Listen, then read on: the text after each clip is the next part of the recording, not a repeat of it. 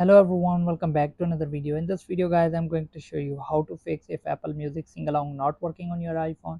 So if you have updated your iphone to the latest version which is ios 16.2 so as you know that there is new feature that is sing along and you can sing along with the song in the apple. So if you have updated and, and you it's not working then i'm going to show you how you can fix it. So let's get start the video. Before we start the video hit the like button and subscribe to the channel for more upcoming videos you need to update to the official version. So if you have updated your iphone to the beta version ios 16.2 public beta then you need to remove and install the official version. So you can do it.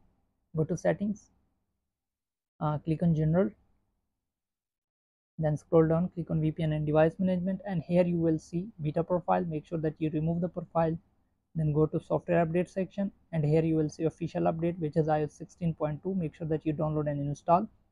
And if you're still not getting then as you can see here is apple music sing available on iphone 11 and later iphone se third generation using ios 16.4 later. So make sure that you have iphone 11 or later. So in my case i have iphone xs max. I still don't have that option because i don't have iphone 11 or later. So make sure that you have the iphone 11 or later or ios 16.2 official version. So if this video helps you. If it does then leave a like and comment. Thanks for watching